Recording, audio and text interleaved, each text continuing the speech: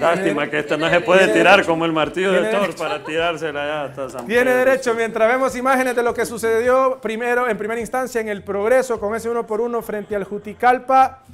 Allí parecía que se podía definir todo, yo lo había remarcado, creía que iba a haber un ganador, no lo hubo, al final un empate uno por uno, que esto, más la derrota del Real de Minas, Gerson Vázquez, y obviamente eh, lo que sucedió con el BID en Tegucigalpa, nos hace ir a una triangular que mañana la Liga Nacional sorteará, definirá hora, fecha, estadios y todo lo que necesitamos saber para ya conocer ese camino que van a llevar los tres equipos, tanto como el Real de Minas, el Juticalpa y el Honduras, ahí este Juticalpa que de entrada se los digo, salió agresivo, ¿ah? buscó, hizo el 1 por 0 gracias a este muy buen gol de Ovidio Lanza, pero que al final el Honduras Progreso pudo recuperarlo y terminaron empatados.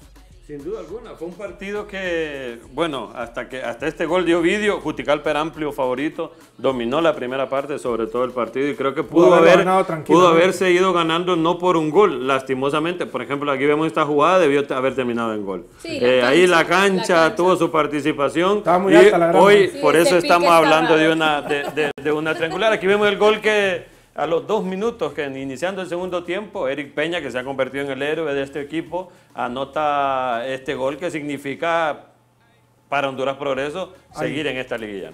Así es. Georgina Hernández, siempre le, apuntaste al empate allá en, en, el Progreso. Porque tenés todavía 45 minutos restantes para ir viendo cómo se desenvuelven los partidos paralelos.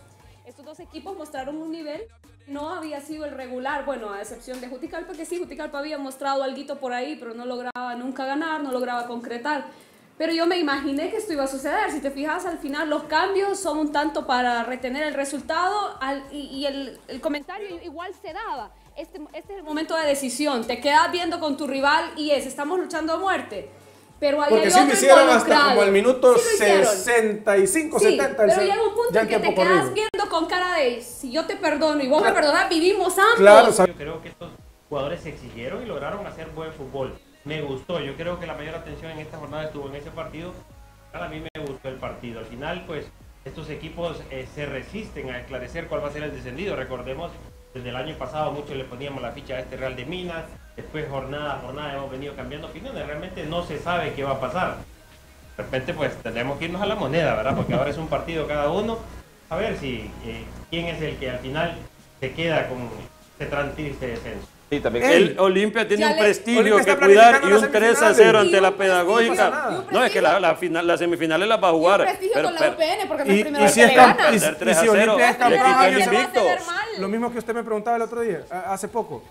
Y si, es, y si es campeón el Olimpia, ¿quién se va a acordar del 3 a 0? No importa, pero no es la primera pero vez hoy, que lo hoy no es campeón. Mal. Hoy no es campeón. No es campeón. 3 a 0. Pero ya era líder. Con, y perdió 3 a 0. Entonces, yo voy a decirlo, ya yéndonos nuevamente a la pedagógica, este equipo es favorito. Es atrevido decirlo, pero hay que decirlo. ¿Lo ve favorito es favorito entre Real España. Bueno, por cómo llega, pero no solo eso, porque en la historia inmediata el, el, España no puede contra la pedagógica.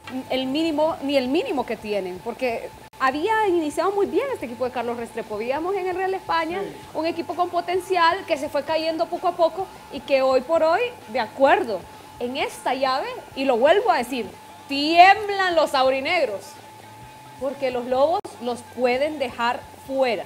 Tienen que hacer un gran esfuerzo para no quedarse fuera en esta llave. Eh, fíjese que lo de Victoria Bernal, a mí me dijeron que agarró una moto en las afueras del estadio, le encendió y... Impresionante. Eso es impresionante. Antes de, antes de cerrar el tema de Liga, ¿le gustaría ver ese gol? Es que ese, ese gol... Ese gol del Motagua Vida. Parecía Rolando Palacio en algún momento.